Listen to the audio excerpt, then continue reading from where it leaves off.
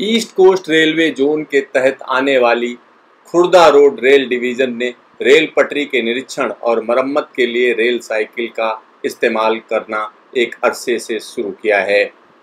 यह rail cycle railway के कर्मचारियों ने खुद तैयार की है। इस रेल साइकिल से 10 किलोमीटर प्रति घंटे से लेकर 15 किलोमीटर प्रति घंटे की रफ्तार तक चला जा सकता है। इस रेल साइकिल का सबसे बड़ा फ़ायदा यह है कि इसका उपयोग ट्रैक मेंटेनेंस करने वाले रेल कर्मचारी बिना थके हुए कर सकते हैं। इस रेल साइकिल की वजह से रेल पटरियों की देखरेख आसानी से और मुस्तैदी से की जा सकती है।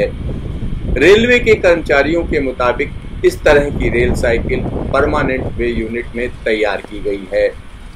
रेलवे के मुताबिक इस तरह की 18 rail cycle Khurda road division के तहत बहरामपुर, सोमपेटा, खुर्दा रोड, गोरखनाथ, कटक, भद्रक, जाजपुर, क्योंझर रोड और देन कनाल में मोबाइल पेट्रोलिंग के लिए इस्तेमाल की जा रही है।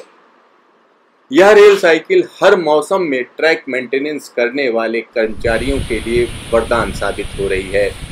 इन रेल साइकिलों पर 30 किलो वज़न तक के औज़ार लादे जा सकते हैं। रेल की पटरी पर चलने वाली इन रेल साइकिलों को चलाने में हर तरह की सेफ्टी और सिक्योरिटी का ध्यान रखा जाता है। इन रेल साइकिलों का सिर्फ़ और सिर्फ़ एक ही मकसद है कि रेलगाड़ियों में चलने वाले यात्रियों के लिए कोई दिक्कत ना पैदा हो। उनकी ट्रेन लगातार चलती रहे और उसके लिए ट्रैक को समय पर मेंटेन किया जा सके और कोई भी खराबी समय रहते दूर की जा सके।